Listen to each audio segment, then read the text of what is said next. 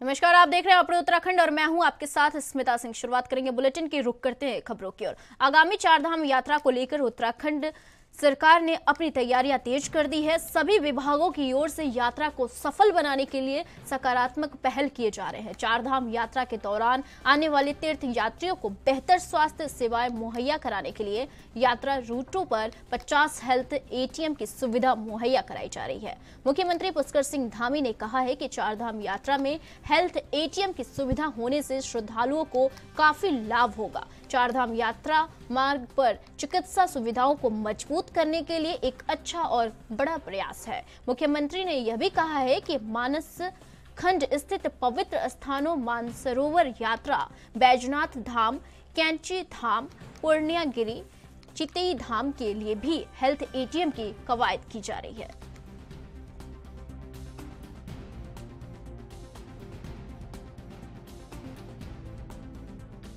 ये health ATM 50 health ATM अभी चारधाम सड़कों पर लगाए जाएँगे और जहाँ चारधाम सड़कों पर लगने से आने वाले श्रद्धालुओं को, पर्यटकों को और स्थानीय लोगों को भी उससे बहुत लाभ होने वाला है। सभी को जो है चूँकि हेल्थ एटीएम से बहुत प्रकार की जो जांचें हैं जिसके लिए उन्हें अनेकों स्थानों पर जाना पड़ता था, अब एक ही स्थान पर उनको मिल जाएँगे और साथ में टेलीमेडिसिन का भी उसमें उपचार मिलेगा और बहुत कारगर होगा। मैं समझता हूँ बहुत उत्तराखंड में चारधाम यात्रा आगामी 22 अप्रैल से शुरू हो रही है। यात्रा की सभी तैयारियों को अंतिम रूप दे दिया जा रहा है।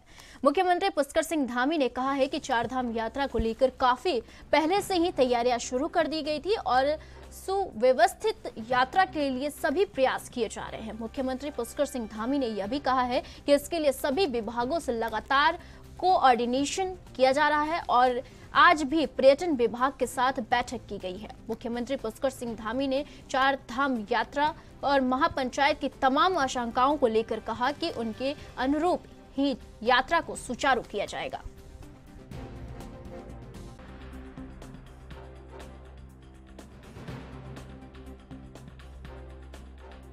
चारधाम यात्रा को लेकर हमारी सभी तैयारियाँ ऑलमोस्ट इस बार बहुत पहले ही हमने शुरू कर दी है। जो चारधाम की तैयारियाँ हमारी अंत में आकर होती थी वो इस बार हमने जनवरी माह से और मैं कहूँ तो नवंबर माह से ही जैसे ही कपाट बंद हुए थे उसके तुरंत बाद ही हमने करना प्रारंभ कर दिया था।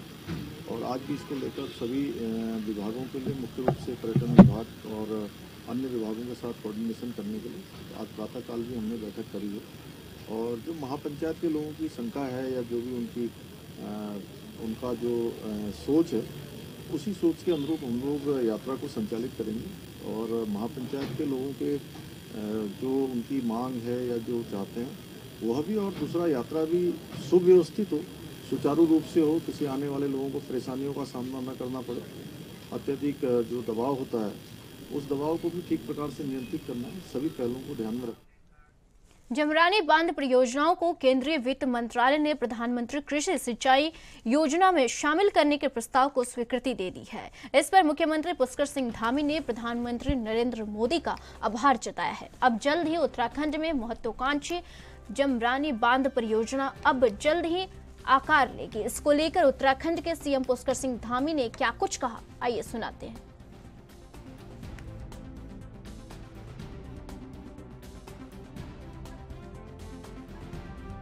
काफ़ी लंबे समय से ये परियोजना रुकी हुई थी और मैं आदरणीय प्रधानमंत्री जी का धन्यवाद करता हूँ कि उनको, उन्होंने इसका संज्ञान लिया है और संज्ञान लेकर उसको अब जो औपचारिकताएँ हैं वो पूरी हो रही हैं और जल्दी ही इसको पूर्ण स्वीकृति मिल जाएगी और जमरानी उत्तराखंड के परिवहन मंत्री चंदन रामदास ने बागेश्वर के गुरुर क्षेत्र के रेखा पांडे से फ़ोन पर बात कर उन्हें शुभकामनाएँ दी। रेखा पांडे बागेश्वर ज़िले के गुरूर क्षेत्र की भेटा की रहने वाली है। रेखा पिछले दो महीने से टैक्सी ड्राइवर का काम कर रही है और रानी खेत से हल्द्वानी डेली सर्विस टैक्सी चलाती है। परिवहन मंत्री ने कहा है कि स्वरोजगार की ओर महिलाओं के बढ़ते कदम के लिए रेखा अपने आप में विशाल है। आपको बता दें कि रेखा पांडे उत्तराखंड की पहली महिला टैक्सी ड्राइवर है, जो कि रेखा ने विगत परिस्थितियों में भी हिम्मत नहीं हारी और आज वो सबके लिए आदर्श बनी हुई है।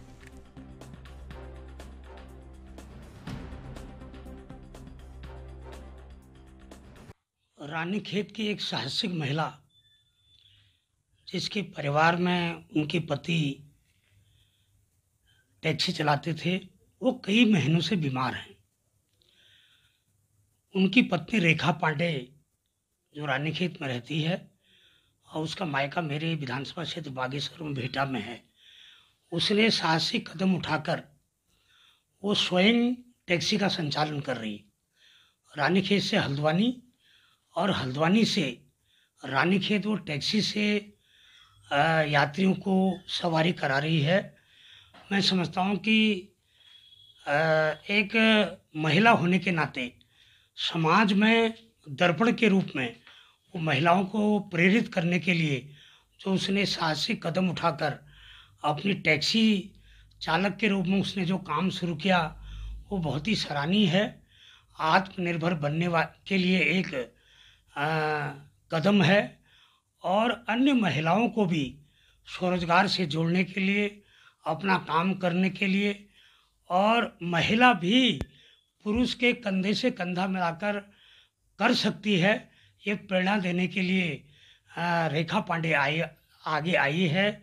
इसलिए मैंने उसके उत्साहवर्धन के लिए मैंने स्वयं रामनगर में मंगलवार से तीन दिनों तक के जी ट्वेंटी सम्मेलन का आयोजन किया जा रहा है, जो कि कल 28 मार्च से 30 मार्च तक आयोजित होने वाले जी ट्वेंटी सम्मेलन को सभी तैयारियाँ पूरी कर, की जा चुकी है। इस सम्मेलन में 20 देशों के लोग हिस्सा ले रहे हैं और खालिस्तानी आतंकवादी गुरुपत वंत सिंह पन्नू ने इस सम्मेलन से पहले प्रदेश के मुख्यमंत्री को धमकी दी है और कहा है कि उत्तराखंड में उनके संगठन के लोगों पर मुकदमे दर्ज हुए हैं तो इसके जिम्मेदार मुख्यमंत्री होंगे। इस मामले में मुख्यमंत्री पुष्कर सिंह धामी ने कहा है कि इस प्रकार की जो भी चीज़ें हैं, उसको हमारा प्रशासन देख रहा है।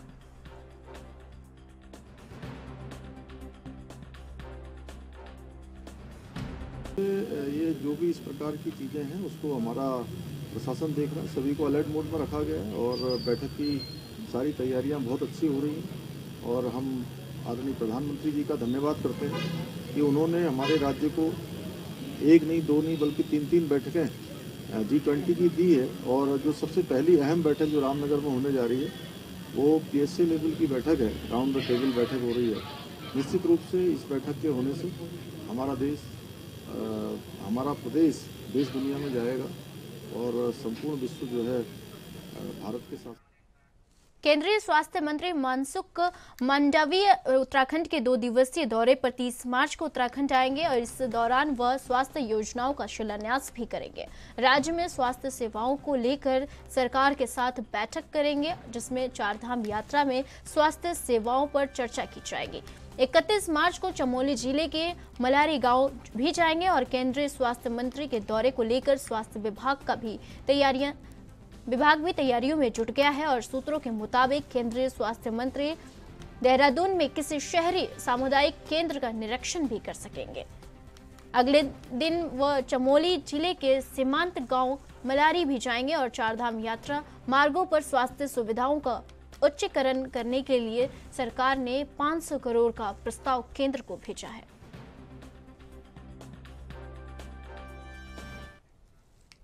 दिनेशपुर दुर्गा मंदिर में महिला संगठन के द्वारा बेल वृक्ष के पूजा और गंगा पूजन के बाद देवी बसंती पूजा की शुरुआत कर दी गई है। बसंती पूजा हु दुर्गा पूजा की तरह की जाती है और महिला संगठनों के द्वारा दुर्गा मंदिर को भव्य रूप से सजाया गया है और बंगाली समाज के महिलाओं के द्वारा अपनी वेशभूषा में दुर्गा मंदिर परिसर में, परिसर से हरि मंदिर पैदल चलकर, हरि मंदिर स्थित तो तालाब से जल लाकर बेल वृक्ष की पूजा पंडित के द्वारा मंत्रोच्चार मंत्रोच्चारण के साथ किया गया है। बसंती पूजा पाँच दिनों तक किया जाएगा। इस दौरान महिला कमेटी के सुनीला मिस्त्री ने कहा है कि दुर्गा पूजा की भांति ही बसंती पूजा भी किया जाता है, जिसका शुरुआत आज से किया गया है।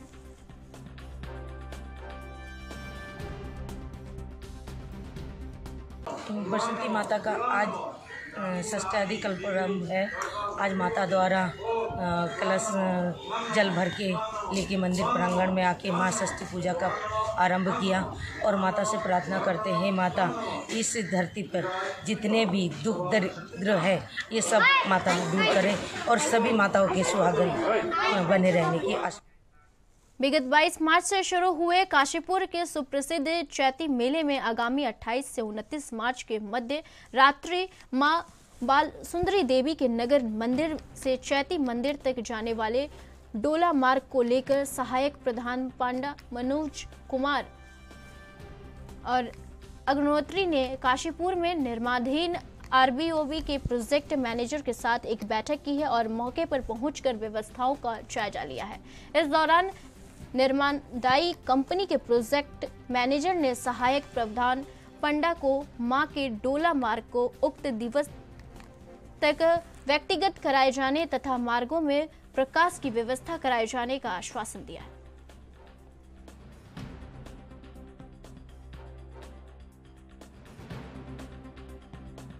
अच्छा जी, सबसे पहले तो मैं बहुत शुक्रिया अदा करता हूँ हम पे विश्वास करने के लिए भाई का, बहुत बहुत शुक्रिया। और जो भी हम लोगों की तरफ़ से निर्देश दिए गए हैं, जो हमें अग्निहोत्री जी ने बताया है जिस तरीके से वो डोला जाएगा, उस तरीके से हमने इनके निर्देश लेके अपनी जो कंपनी है उसके बंदों को, सारों को फॉरवर्ड कर दिए हैं वो। और सेम उसी तरीके से इस बार जो डोला जाएगा, उसमें कोई भी व्यवधान ना आने की हमारा पूरा आश्वासन है आप लोगों को और सारा जो सिस्टम है वो हम लोगों ने अग्निहोत्री जी से समझ लिया है और उसी प्रकार से उसका पालन किया जाएगा। देखिए 28 तारीख को माँ का डोला आना है रात्रि में। तो उस संबंध में ही मैं आज यहाँ निरीक्षण करने आया था मार्ग का और यहाँ दीपक बिल्डर्स के जो प्रोजेक्ट मैनेजर हैं अजय शर्मा जी उनसे भेंट हुई। तो दीपक अजय शर्मा जी ने हमें पूरी तरीके से आश्वस्त किया है कि डोला आते टाइम ये मार्ग बिल्कुल ठीक ठाक और सुरक्षित रूप से मिलेगा। और डोला आसानी से निकल जाएगा भक्तगणों को कोई तकलीफ़ नहीं होगी। क्या केवल डोला ही डोला निक- निकलेगा या सभी लोग एक साथ जाएँगे? देखिए इस समय वर्तमान परिस्थितियों को देखते हुए डोला और डोले के संग जो पैदल पैदल श्रद्धालुगण हैं वो सारे इस रूट से जाएँगे। और अगर कुछ वाहन है तो वो वाहन महाराणा प्रताप चौक से डाइवर्ट होकर पटेल नगर से आके डोले में सम्मिलित हो जाएँगे। वापसी का भी यही रूट रहेगा या जी हाँ वापसी का भी यही रूट रहेगा और चार अप्रैल की रात में वापसी होगी।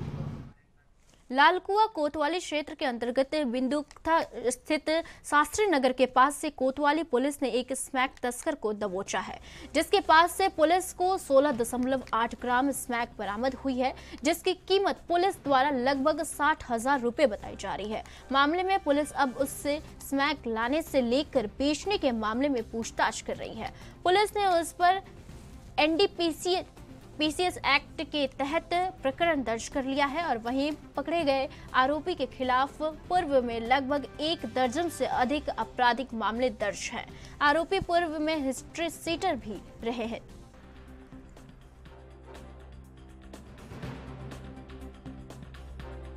लालकुआं पुलिस के द्वारा कल शाम की चेकिंग के समय जो हम कानून व्यवस्था चेकिंग हमारी चलती है, उसके चलते एक अभियुक्त जो ऑलरेडी जिसमें 12 मुकदमे दर्ज हैं उसके पास उसको पकड़ा गया तो देखा कि उसकी चेकिंग के दौरान उसके पास 16.8 ग्राम हमारी स्मैक बरामद हुई है और इसके इसके प्राप्त होने पर हमने एन के धाराओं के अंतर्गत एक मुकदमा दर्ज किया है और, विधिक कार्रवाई उसके अंतर्गत की जा रही है। ये अभियुक्त का नाम सुंदर सिंह बिस्ट पुत्र शेर सिंह बिस्ट निवासी शास्त्री नगर बिंदुकत्ता इसका पूर्व मैडम ये अभियुक्त 2017 से इसके खिलाफ मुकदमे चल रहे हैं, जिसमें से चार आबकारी के मुकदमे हैं।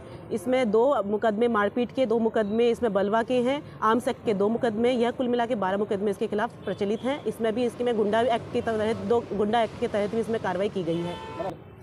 पुलिस के द्वारा इसमें समय समय पर चेकिंग की जा रही है। इसमें हमारी टीमें बनी हुई हैं, जो निर्धारित समय पे अपनी चेकिंग करते रहते हैं। और वो वर्दी में, बिना वर्दी में इसमें, इसके बारे में अभी आपको जानकारी बात फ़िलहाल रुकते हैं एक छोटे सी ब्रेक के लिए। ब्रेक के बाद जल्द हाजिर होंगे बुलेटिन में।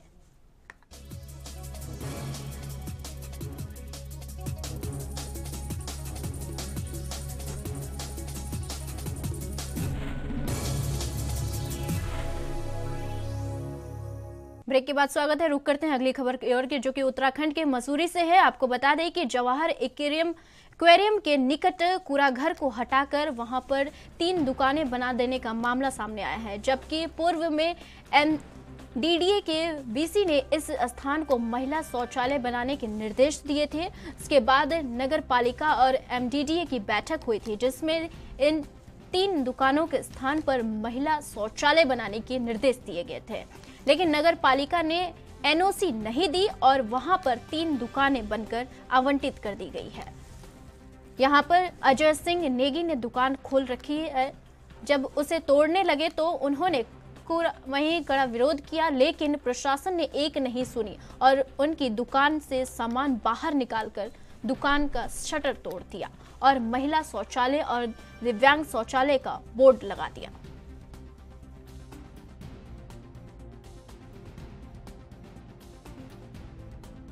ये सर नगर पालिका द्वारा दी गई नगर पालिका द्वारा दी गई है। मेरे को, मेरे खोखा था तो चालीस साल पहले वो टूटा था, उसके आवाज़ में इन्होंने बोला था, यहाँ पे मुझे ये दे दिया गया था।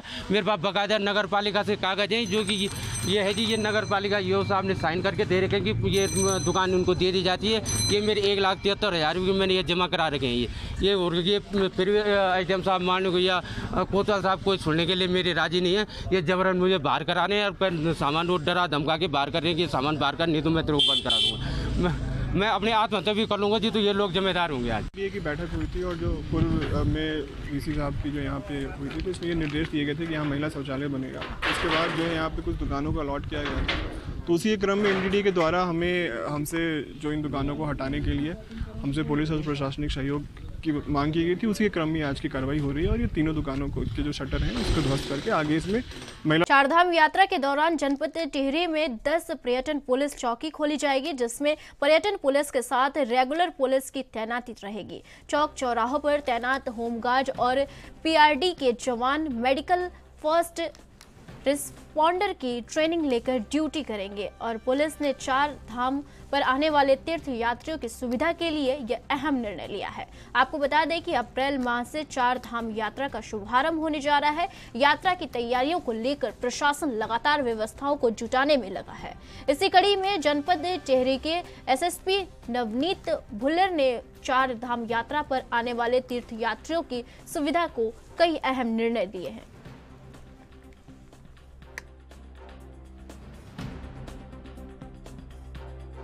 में टिहरी जनपद में 10 पर्यटन पुलिस चौकियाँ यात्रा के दौरान दौरान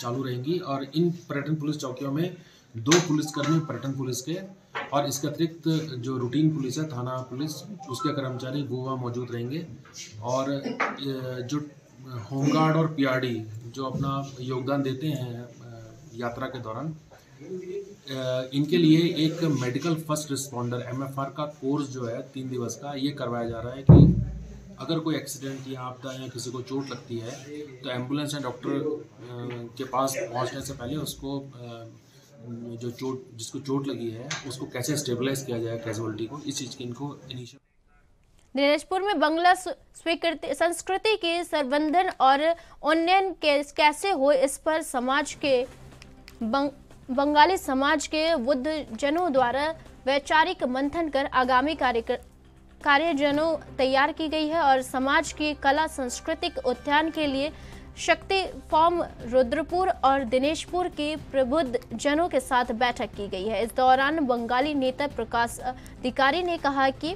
बंगला संस्कृति हमारी पहचान है और इस पर संगठित रूप से कार्य करने की आवश्यकता है, ताकि एक मंच तैयार किया जा सके, जिसके तहत हमारी कला संस्कृति की प्रस्तुतिकरण हो सके।